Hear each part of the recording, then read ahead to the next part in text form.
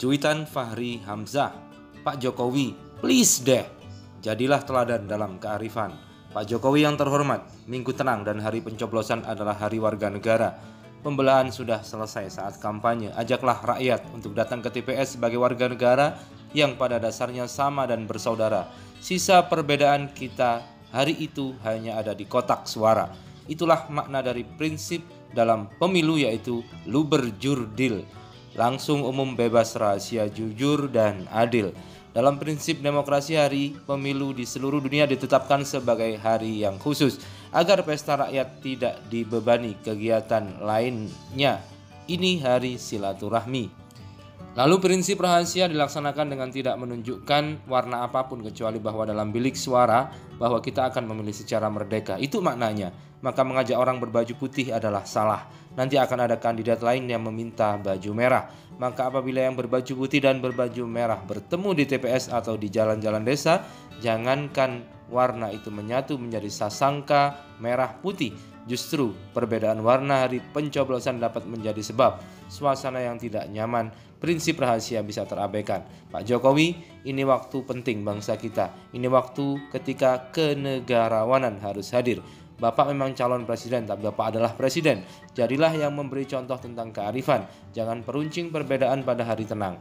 Pemilu ini sesaat, tapi NKRI harus hadir selamanya. Bangsa kita lelah, Pak. Kemarin ada adu domba ideologi. Di DKI khilafah lah, syariah lah, tempat hiburan akan dirazia lah, intoleransi, dan lain-lain.